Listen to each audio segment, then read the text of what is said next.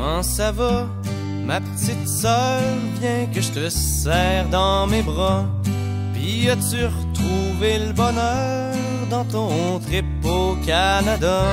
Dans le bout de cette année, il s'est pas passé grand-chose, c'est un peu morose.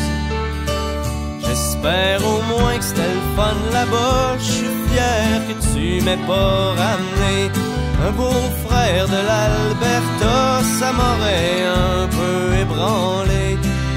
Donc que ce fois-là, tu restes à maison pour de bon. Anyway, je suis content que tu reviennes. T'arrives en même temps que l'automne. C'est que ça m'a fait ben de la peine de te voir partir, ma mignonne. Ici, y papa qui se remet de sa petite opération. T'aurais dû le voir, il fait qu'il fallait le traiter aux petits oignons. Et maman s'est inquiétée toute l'année à cause de toi. De mon bord, j'ai décidé d'arrêter de végéter.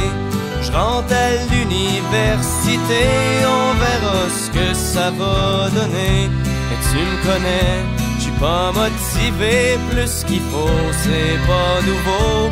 Anyway, je suis content que tu reviennes. T'arrives en même temps que l'automne, c'est que ça m'a fait ben de la peine de voir partir ma mignonne.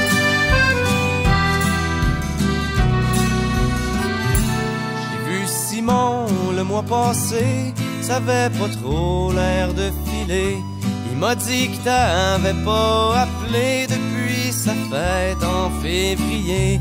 Si tu l'aimes plus, faudrait peut-être pas le niaiser, c'est un bon body. Et puis toi, ma petite sœur, es-tu toujours aussi perdue? C'est-tu encore la grande noirceur? Ou ben si t'as repris le dessus?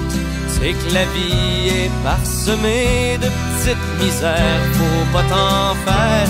Anyway, je suis content que tu reviennes, t'arrives en même temps que l'automne.